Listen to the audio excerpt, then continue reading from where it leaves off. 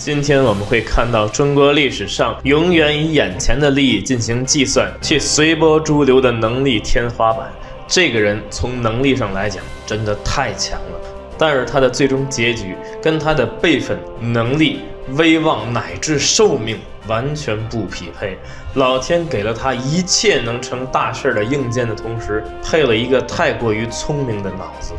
聪明在咱们国家的语境中，褒义的时候仅限于孩子。机关算尽太聪明了。英雄的人生乃至历史的真正大剧本，基本上都是真龙棋局，你都是看不出来后手的。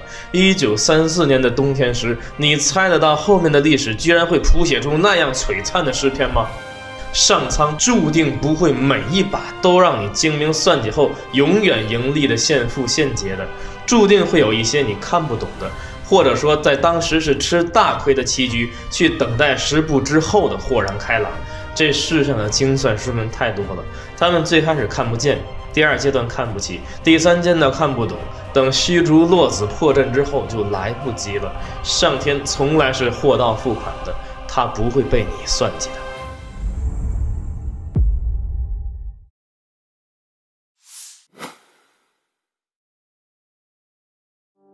惯例说说今天的主要人物，一句话，今天的主角是武川天团的第一代和第二代的两位头马贺拔胜和宇文泰。与此同时，还有惊喜，李虎和独孤信这两位大唐组员今天将作为神秘嘉宾闪亮登场。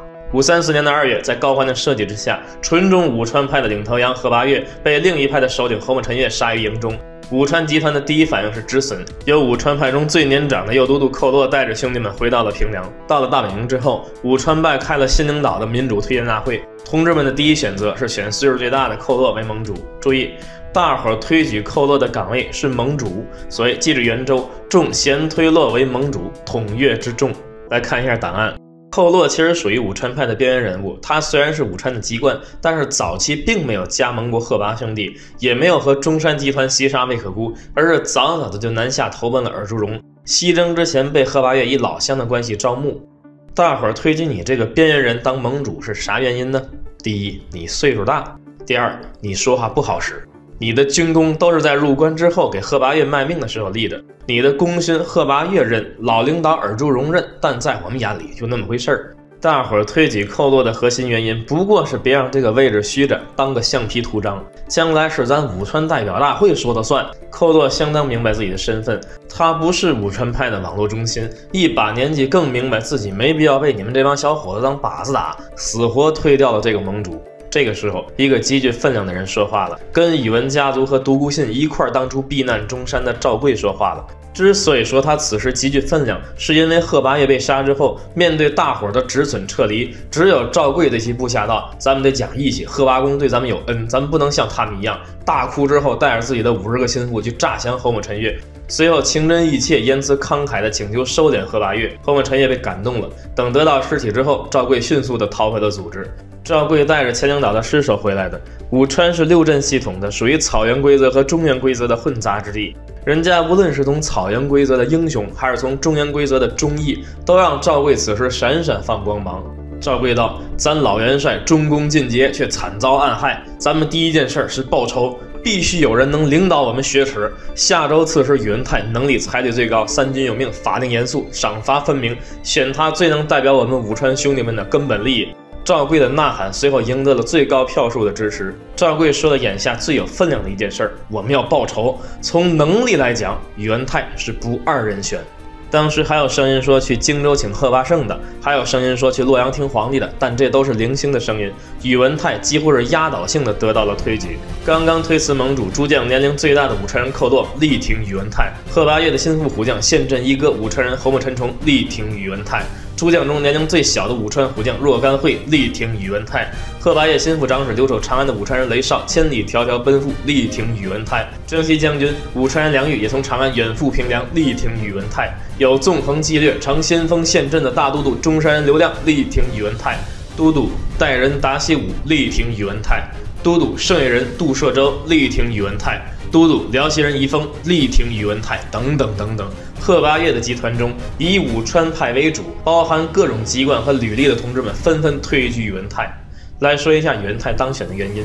第一，宇文泰的能力确实鹤立鸡群的强。近二年的贺八月的所有集团发展方针，基本都是宇文泰建议的。他也是贺八月钦点的政务左右手，能力上大家有目共睹。而且之前贺八月开会讨论推举镇下周的人选时，宇文泰就已经被民主推荐过一次了。第二。宇文泰的革命履历丰富，政审没问题。他大哥死在武川群雄西杀魏可孤之后，他爹宇文恭和他二哥死在中山加盟仙云修理后，他三哥死在葛荣被平之后。宇文泰有着武川派中最重要的两层背景，跟贺拔兄弟有关系，跟中山分舵的兄弟们有关系。第三，最重要的一点，辈分低，年纪小。虽然宇文泰的家族履历丰富，但他本人崭露头角的时间短，而且此时宇文泰仅仅二十八岁。赵贵晚年和独孤信密谋夺权的一句史书记载，是这个问题的完美阐述。初，贵与独孤信等皆与太祖等疑。翻译一下，赵贵、独孤信和宇文泰是一个辈分的。在贺八月的眼中，我们都是小孩子，都是经理。你宇文泰在我们眼中，大家都是一个辈分的，今后都是股东。同志们，思考问题时，利益方向一定是摆在第一等的存在。赵贵、独孤信和宇文泰，这都是中山分舵的履历。虽然赵贵的年龄史书五载，但独孤信这一年三十一岁，仅比宇文泰大三岁。由此推测，赵贵大概率也这意思，都是边边大一块玩大的弟兄。贺八月前面在讨伐曹泥时，就是专门派的赵贵去求策于宇文泰，所以越狱讨曹泥，遣都督赵贵至下州与太祖济事。就是因为赵贵作为宇文泰的好兄弟，能最原原本本的复述回来宇文泰的意思，不用担心别的人使坏进成阴阳加工。再看看刚刚推举宇文泰的武川第一猛将侯木陈崇，此时十九岁；大都督刘亮此时二十八岁，达西武三十岁，等等等等。这一群上好的青春，最终民主集中酝酿出了宇文泰接班的这个人选。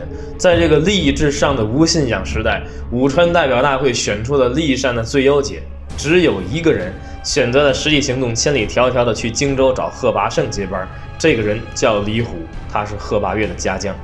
来，我们放大一下史料的原文，这是一句让我们很感动的史料。太祖星夜复告，高欢那边屁都放成啥样了？李虎这是千里寻主，这位爷是唐太祖，时任贺拔岳统管内外军事的左军大都督，极受重用。所谓贺拔岳继镇陇右，以太祖为左军大都督，委以内外军事。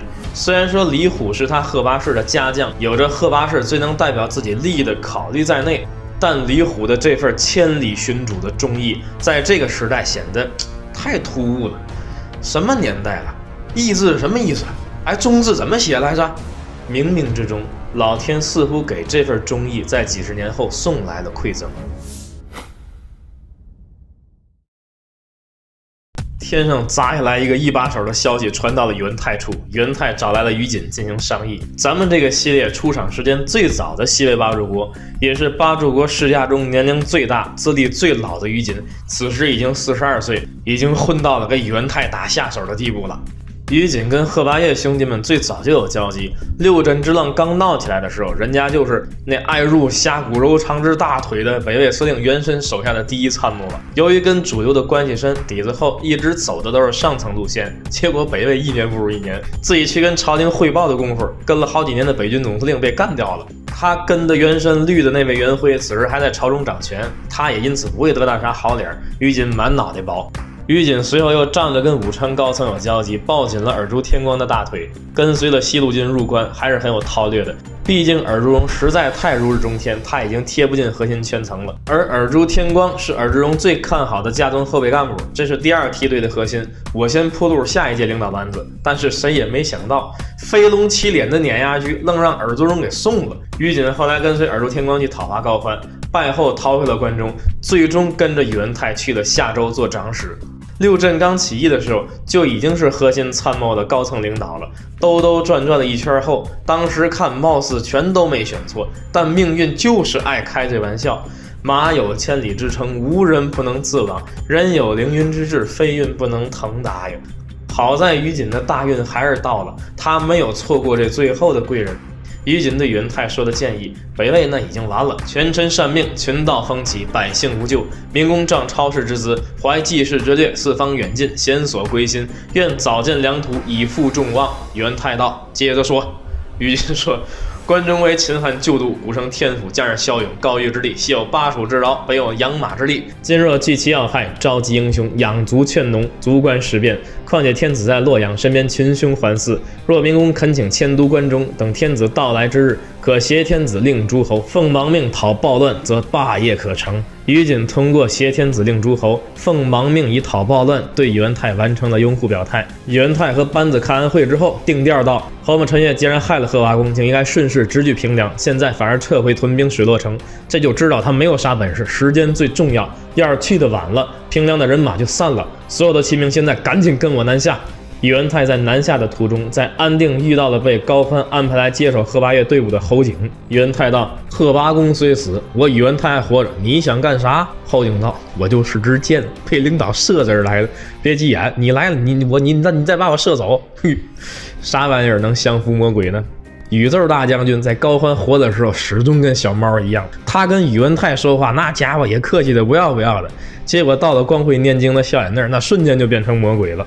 下面这句话好值钱呐！任何形式的合作，本质上都是在不断权衡自己获益成本的大与小。哪怕再亲密的合作伙伴，你也永远要有能给对方造成同归于尽重创的杀手锏，这是你们永远甜蜜下去的关键。宇文泰来到平凉之后，大哭发送了贺拔岳，武川军团的军心终于稳定了下来。时间上相当惊险。宇文泰射走后景之后。洛阳的皇帝元修也派了五位将军元皮去招贺拔岳的军队回洛阳。元皮到平凉时，元泰已经到了。元泰给元修送了奏折，俩事儿：第一，我已经被民主集中出来了；第二，东有高欢，西有侯某陈越，队伍都是西北人练家，我缓缓在带队伍东进。元修无奈任命宇文泰为大都督，统贺拔岳的队伍。另一面，李虎去了贺拔胜那儿，贺拔胜对于关中并没有抱太大的希望，仅仅派了独孤信来刮彩票。此时的宇文泰已经被推举成了一把手，看到了貌美独孤狼这位一块长大的老乡后，表面上相见甚欢，随后一竿子给独孤信支洛阳去了。兄弟好归好，但你小子是贺拔胜派来的，滚吧你！国际上各路蠢蠢欲动，都打发走之后，宇文泰开始率同志们去找侯某春月报仇了。侯某春月懵逼了，我操，最后怎么成了这么个结果？糟了，糟了糟了，我成替身了。小皇帝元。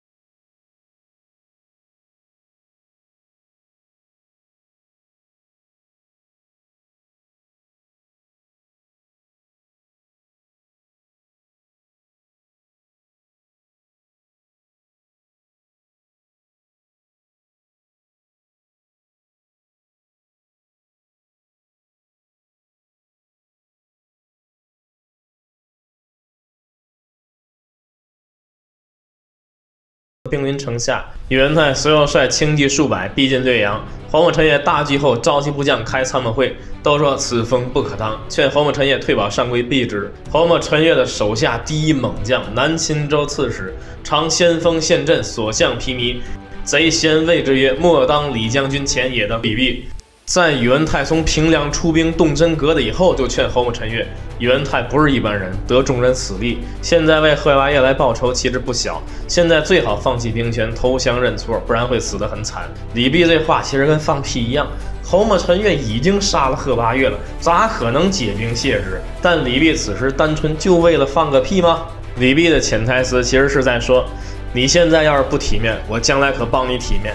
为了兄弟们的未来，快自己了断了吧！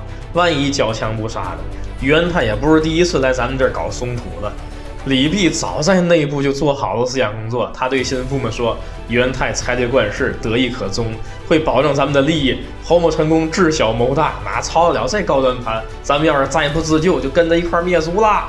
侯某成也逃到略阳的转天，李泌派使者投降了元泰。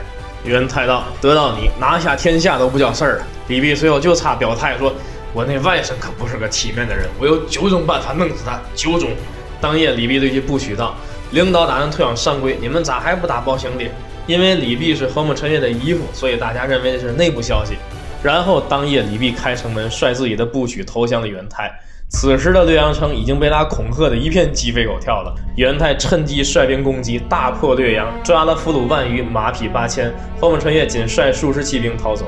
从八千骑兵的家底儿来看，侯木陈月其实并不是个好啃的骨头。陇西的战斗也从来没有那么轻松的。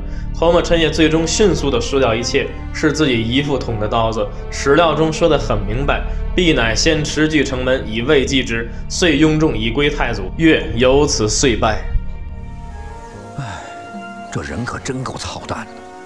这个丑陋的时代，侯木陈月其实从头到尾的算盘打的都没错，但你弱就是最大的错。侯木陈月在投奔灵州曹尼的路上被追兵赶上，自缢而死。战后，宇文泰进入上归，没收侯莫陈月的府库仓廪，战利品宇文泰自己一点不要的，全赏给了弟兄们。他身边的一个亲信偷偷的拿了个银瓮回来，宇文泰知道后处罚了他，并将银瓮剖开分给了将士们。三军大悦。宇文泰为贺拔业复仇的上位之战，从头到尾，从里到面无可挑剔。乱世拼的是实力，能者居之。只要你能够足够强大到能在极其竞争的严苛环境下冲出来，放心，后世自有大儒替你辩经。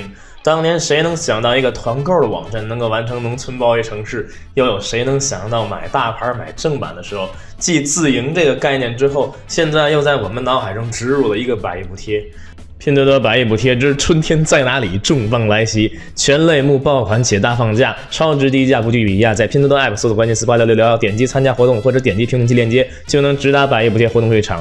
春天了，咱喝口地道的春茶不过分吧？如今大品牌茶厂们也进入咱百亿补贴了。西湖牌明前龙井半斤装补贴后仅售二百三十五块八，狮峰牌明前龙井四两装补贴后仅剩二百三十八元。还有白大师、张一元等诸多产品都已经进入咱们百亿补贴会场了。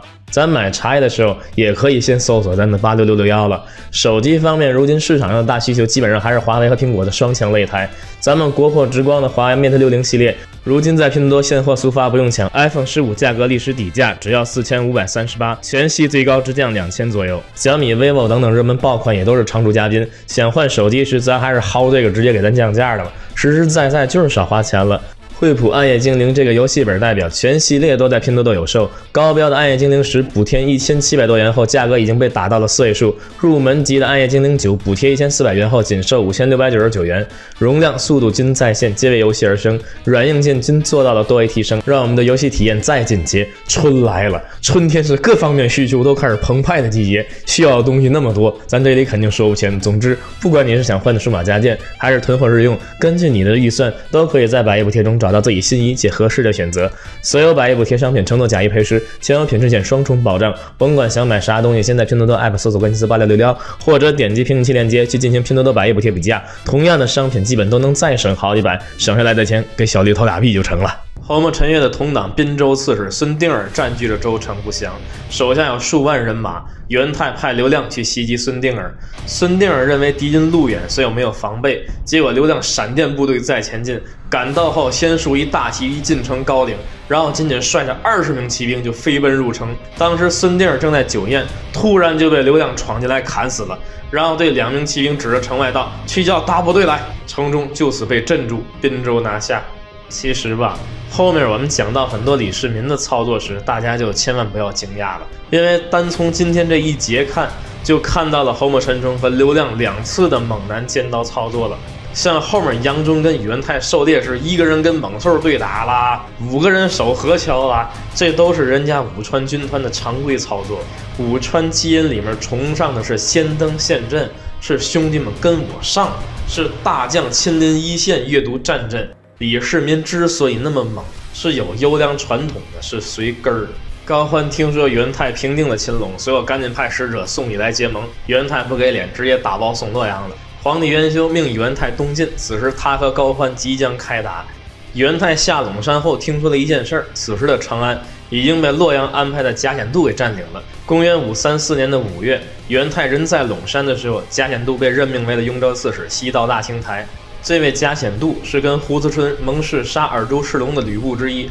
趁着武川派不在，胡思春安排这位同类去了长安。结果贾显度到了关中后，就卖了同党，投靠了高欢。派船接高欢援救侯莫陈月的一万兵入了关中。等武川派杀回来以后，背叛已经轻车熟路的贾显度迅速又变脸了，欢迎新领导同志们到来。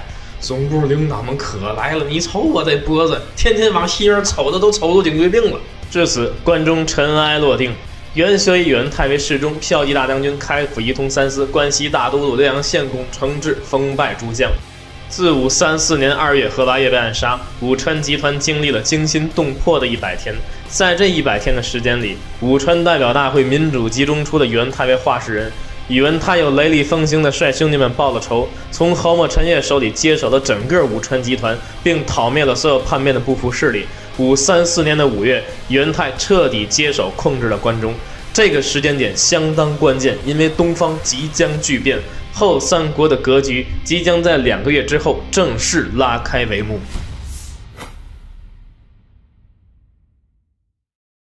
公元五三四年是后三国的开启元年，后面绝代双骄的所有恩怨纠葛，数十个猛将喋血沙场的铁血传说，从这一年开篇。二月，贺拔岳被杀的消息传来，元修的西面被断一臂，水被搅浑了。高欢和元修就此开始了加速度。高欢在洛阳安排的心腹侍中孙腾居门下省，与胡思春共掌机密，感觉到了洛阳即将对高欢摊牌。孙腾抽冷子，率十余骑兵奔赴晋阳。高欢的妹夫领军将军娄昭也扔了禁军编制，和孙腾前后脚北归了。元修随后以胡思春兼领军，分至都将及河南、关西诸刺史。嘉彦度就是在这个时候被安排到了长安。五三四年的五月是个所有时间线集中爆发的月份。宇文泰干掉了侯莫陈也，报仇成功，率雄赳赳气昂昂的武川军团杀下陇山。嘉彦度再次墙头草跪舔。也就是这个五月，元修认为高欢欺人太甚，打了打算盘，觉得优势在我，于是以讨伐萧衍为理由，征发河南诸州之兵，准备讨伐高欢。六月，小机灵鬼元修给高欢去了一封密诏，表示宇文泰这个大坏蛋攻破秦陇，随意安排行政编制，但嘴上还得拥护我的领导。我和群臣们沟通了以后，问问咋办，大伙儿都说嘛大样的。现在我准备加称南伐，内外戒严，一是吓唬宇文泰，二是吓唬萧老头，你别多想啊。哼，高欢根本就不搭理你什么狗屁密诏，好不容易得到了武征上访的理由，赶紧上表道：元太和萧衍都不是好东西，打这俩不能光让黄河以南忙活，我们大河以北必须为国出力。我现在派二十多万帮帮场子，表示我麾下的山西和河北绝不偷奸耍滑。麻溜这就去洛阳听您老指导。元修看到自己这小聪明给了大流氓顺理成章的南下理由，于是赶紧召群臣琢磨咋让高欢冷静下来。高欢随后去了封奏章，道：“我受到奸臣的挑拨离间，让陛下对我产生了怀疑。我高欢对天发誓，我要是敢辜负陛下，就让老天劈了我，让我断子绝孙。陛下，您要是想跟我再续前缘，只惜干戈，希望您把那一两个奸臣给废了。我跟他睡过，我全家死光可以吗？” 你真牛掰！来来来，把史料原文列出来，我们放大字体哈。这是我在中国最长的乱世中最毛骨悚然、冷汗直流的一封奏书。自司马老贼落水放屁之后，在无下限的黑暗演化下，高欢将誓言这种最神圣、最崇高的人类契约精华彻底无耻化到了史上的下贱之最。高欢对元修说：“臣要赶赴陛下，是身遭天殃，子孙忝绝。”对誓言一丁丁点儿的敬畏都没有了。高欢这辈子最开始就是普通发誓，后面是结拜兄弟算计人，到现在开始赌咒拿子孙发誓了，这就是已经就戏已经不过瘾了，开始直接注射了。你跟你心腹开班子会的时候，真的是这样谋划的吗？大伙儿会怎么看待你这言之凿凿的发誓呢？大伙儿会将你这套收入到兵器谱之中，将来以彼之道还施彼身，而且真的没有报应吗？他北齐的那堆皇帝没有一个活到三十二岁的，一个个堪称狂暴乱伦疯魔的集大成者。中国皇族但是皇冠上的黑珍珠就是他北齐高家。高欢一边赌咒发誓，一边开始给洛阳断粮，以准备帮元修迁都邺城的名义，增加了河东和冀州、乔敖城的兵马。整个河北和清徐的粮食不再送往洛阳，全部调往邺城。此时的徐州已经被高欢控制，元修派系的官员已经被高欢直接打跑了。徐州乃至整个中原的粮草经泗水黄公渎输送到了乔敖城，整个山东半岛的粮草经过济水输送到了乔敖城，所有两方面的物资经四渡口逆黄河而上，在方头入清河，进入到了邺城。高欢把迁都的物流断粮牌打出来之后，双方正式撕破脸了。高欢正式起兵，宣告道：“我欲尔朱氏擅权，举大义于四海，奉代主上，义贯幽冥。被奸佞胡思春谗言构陷，当年赵鞅兴晋阳之甲，诛君策恶人。现在我南下，只是诛杀胡思春而已。”元修下令所有北来文武官员全部自行决定去留，下诏高欢大罪，准备北伐。元修随后召唤了自己的复仇者联盟，结果来了一群天线宝宝。江湖的救急书先送到了贺拔胜这儿。贺拔胜听到了元修的召唤后，开班子会讨论。陆柔道：“高欢悖逆，上策是您席卷兵马赴洛阳，跟他决胜负；中策是您北阻鲁阳，南并旧楚，东连兖豫，西引关中，带甲百万，关信而动；下策是举三京之力，投奔梁朝。”贺拔胜听了以后笑了笑，没有表态。卢柔这就是根本不了解领导是啥人，领导问的是你觉得他这回该嫁谁，他该怎么再嫁，以及啥时候嫁。你瞅瞅你那上策说的是人话吗？还去洛阳跟高欢死磕，你让人生精算师的领导去当炮灰，你几个菜喝成这样？贺拔胜最终也出兵了，但行至广州郡，这个这个广州治所在今天的鲁山县，就打住了。所以属其身无与地有隙。赵胜引兵复洛，至广州犹豫未尽。这得看着地图说。贺拔胜俩算计：第一，元修要是赢了，我冲上去擒王；第二，元修要是输了，我冲上去补刀。元修的第二个求援信是地道的关西，任宇文泰兼尚书仆射，关西大兴台，还答应把冯异长公主许配给他。对宇文泰帐内都督杨建道：“回去告诉你们兴台，让他派骑兵来接我。”宇文泰随后任命前钦州刺史骆超为大都督，率一千骑前往洛阳。元修这面子奏支一千轻骑兵，这哪是亲王的？这是送的一个抢皇帝的快递公司。而且这一千轻骑到了红农也不往前走了。元泰俩算计：第一，你要是赢了，我出兵亲王；第二，你要是输了，我抢你入关。哎呀，无论是西面还是南面，喜感非凡的局面呢。七月初九。元修据说要亲自率兵屯河桥，以胡思春为先锋，陈兵于邙山之北。胡思春请率两千精骑渡黄河，趁高欢行军疲弊，突然袭击。元修最开始同意的，但黄门侍郎杨宽劝道：“那是胡思春呐，您把兵给他，他转头把你卖了呢。当年尔朱氏是咋死的？况且他灭了高欢，就成了下一个高欢。”元修下诏禁止了胡思春的行动。这个人要是抽了街呀！高欢打着杀他的出名名义都不被相信，画面太喜感了。元修随后把胡子春支虎牢去了，也不提打高欢的事儿，就是想守住黄河。宇文泰听说以后，对身边心腹道：“高欢数日行八九百里，此兵家之所忌，当趁其疲弊击之。现在黄帝那边只守不攻，黄河万里，咋可能守得住？他没戏了。”宇文泰随后立刻命大都督赵贵为别到邢台，从蒲坂渡河，向河东进军，牵制高欢。又派大都督李贤率一千精骑赶往洛阳。这皇帝要再不抢，恐怕就来不及了。此时的东面战场上，高欢的妹夫相州刺史窦泰已经率叶州军来到了黄河边，与贾显志在长寿津相遇。贾显志暗中约降，引军退走。窦太轻松过了黄河，然后受降了华台。华台丢了以后，胡子春害怕了，派人劝元修：“大势已去，咱们还是去关中吧。”此时逃跑有两个方向，一个关中，一个荆州。很遗憾，南边的贺拔胜被老战友胡子春放弃了。越是共过事儿的同类，越知道对方是个啥德行。此时高欢至黄河北十余里，再派使者表态，回头不晚。七月二十六，高欢指挥部队渡过了黄河。七月二十七，元修在心腹王思政等人的劝说下，最终选择逃往关中，派使者召回胡思春，与南阳王元宝炬等率五千骑兵出屯洛阳西。一走西门，大家就都知道元修要去关中了。一夜逃亡过万，清河王元胆、广阳王元战等宗室也趁乱逃归了。但这个时候，感人的带引号的啊，感人的场面出现了。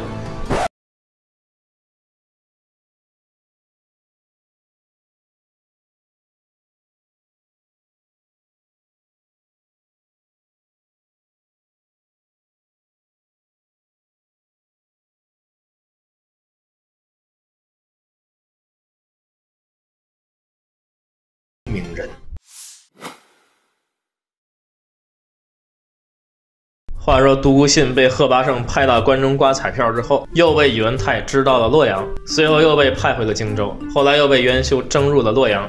独孤信成为了贺八胜的荆州驻京办主任。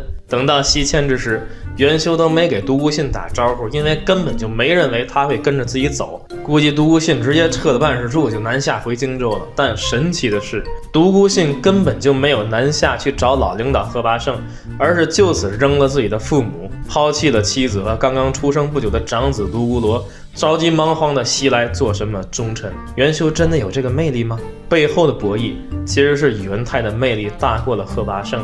是独孤信去了平凉，看到了武川集团多么的欣欣向荣，自己从小到大一路自袭杀未可孤，中山居以来的宇文泰和赵贵这帮兄弟们混得这么好，他也想去当股东了。贺拔胜这儿被独孤信放弃了。独孤信是个聪明人，他判断宇文泰的前景要远比贺拔胜强后，并没有主动去西奔桂田发小，那样就不值钱了。他知道宇文泰这个时候并不缺兵源，偌大的关中。等待他去统战，他缺的是足够信赖且有能力的心腹。自己要是直接背叛贺八胜，甚至拉来队伍吸投，那样人品就出问题了。但是此时趁着朝廷西迁的机会去关中，就一切都洗白了。第一，我这是跟着朝廷来到关中的，我们最后长大，共同闯关。我的能力你了解，我的成分你明白。现在绕了一大圈以后，又回到了彼此的身边。第二，我忠君爱民，有着朝廷的千户郡公编制，这种政治资源放眼武川集团并不多。同样履历的还有李虎。话说李虎来到贺拔胜处后，听说宇文泰已经接班了，便要找侯莫陈月报仇，于是自荆州回关中，行至闻香时，被高欢别将所获，送到了洛阳。元修看到李虎大喜，拜魏将军，后赐之，命他去镇关中。随后，李虎与宇文泰平了侯莫陈月。来看这段史料，我们放大居中。这段史料漏洞百出，为了唐太祖百般遮掩。来看一下李虎的诡计。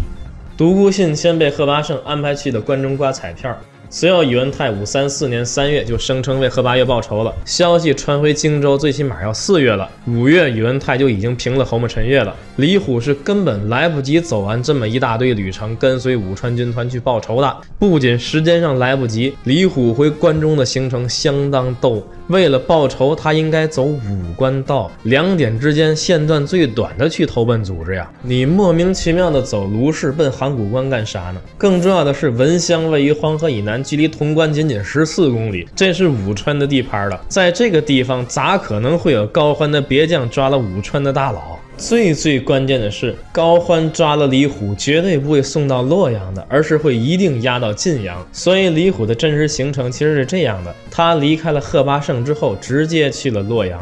在贺八业死以后。整个武川集团只有他一个人去找了贺八胜，他就算底子厚、威望高，再回去大家会以一个什么样的眼光去看他呢？宇文泰会容得下他吗？所以他要去洛阳镀金，以贺拔业副手、左军大都督、武川大佬的身份去找此时到处拉风头的元修表忠心，然后要来了政治待遇，以皇帝亲封的魏将军去镇关中，所谓。魏武帝将收关右，见太祖甚喜，拜为魏将军，赐以金帛镇关中。等回到关中后，再以北魏皇权高规官镇关中的政治任命去拜宇文泰为大哥，表示说皇帝那算个屁，你才是我大哥。体会到政治游戏的玩法了吗？你直接灰头土脸的回去是卖不出价的，必须得这么绕一圈，才能把自己再体面的嫁出去。李虎这唯一的一个在表态中没有站队宇文泰的八柱国，仅仅靠有兵、靠能打就能再站回最高舞台吗？没有脑子是根本就不可能的。父辈这帮人呢，全部是经过严格筛选剩下的人，全是聪明人。哎呀，你说这太对了。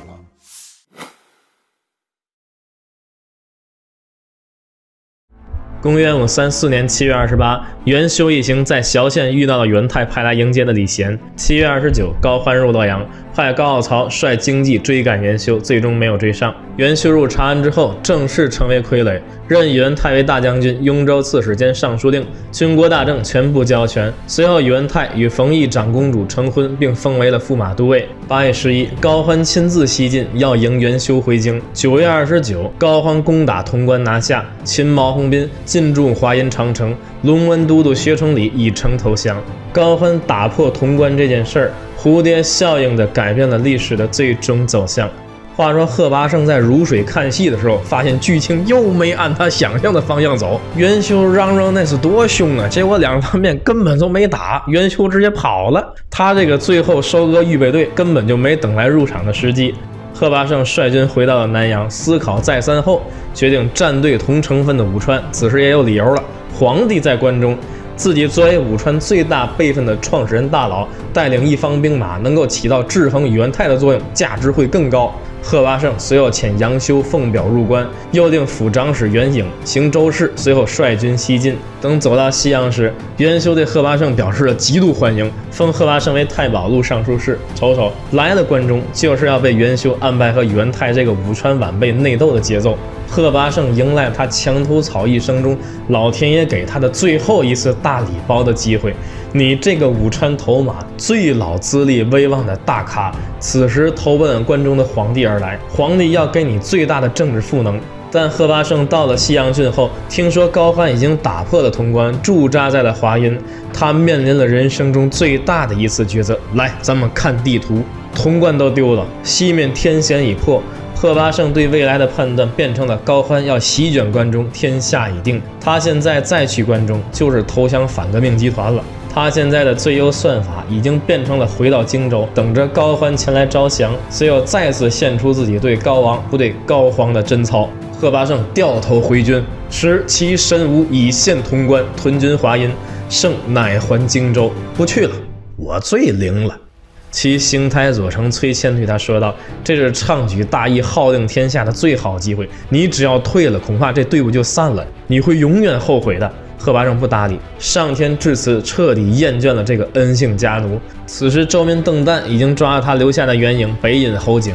贺拔胜回军后被侯景逆击打了一个措手不及，贺拔胜身中流矢，最终仅仅带着自己的五百骑兵逃离了战场，南奔萧衍。高欢打到华阴后，选择了落袋为安。他并不想与刚刚给贺拔岳报仇、军事正盛的武川军团开战，自己北上回了河东，派邢台长史薛余镇潼关。贺拔胜只要继续往前走了，他走到关中的同时，高欢也就撤军了。到时他将再收到一次政治赋能，是他吓走的高欢。这个时候他甚至能把宇文泰压过去。但是现在，所有的政治光环全部被二十八岁的元太收割了。贺拔胜啊，你赌错了！现世报啊，迅速打脸了。由驾着七彩祥云赶来的白衣骑士。变成了身上中箭、灰头土脸、现眼南国的丧家之犬。人生最悲哀的莫过于此。该，论能力，此人威猛无双。即便是群雄耀眼的武川群雄里，史料中明确记载，贺拔胜的临阵感觉，那是让宇文泰都叹为观止的。论算计，此人精明异常，每次都在历史的转弯处，根据局面变化，迅速做出了在当时看来的最优解。贺拔胜算是中国历史上永远以眼前的利益进行计算、去随波逐流的能力天花板了。但最后的结果呢？当然，其实中间也不差，只是真的配不上他的能力和辈分，还有寿命。他是大福大报的，老天这是给了他多少次当家做主的机会？老天这是给了他闯这乱世多么顶配的硬件？很遗憾，都被他聪明反被聪明误了。还是我们重复一下开篇的那段话吧。英雄的人生乃至历史的真正大剧本，基本都是真龙棋局，注定不会每一把都让你精明算计后永远盈利的现付现结的，注定会有一些你看不懂的，或者说在当时是吃大亏的棋局，去等待十步之后的豁然开朗。上天是货到付款的，他不会被你算计的。十月，高欢到达洛阳。最后一次给元修送奏折，你回来，我率文武百官打扫宫廷宫后；你不回来，七庙不能无主，万国须有所归。臣宁负陛下，不负社稷。元修不答，他想答，元泰都不会让他说话了。十月十七，十一岁的孝文帝元宏曾孙，清河文献王元义之孙，清河文宣王文胆之子元善见在洛阳继位。同月，元泰亲自率军攻打潼关。杀了番禺，俘虏其手下七千士兵，回到长安之后晋升为大丞相。西魏的司空参军河东薛岳率村民击退了东魏邢台薛毅，重新占据了黄河西岸的杨氏壁。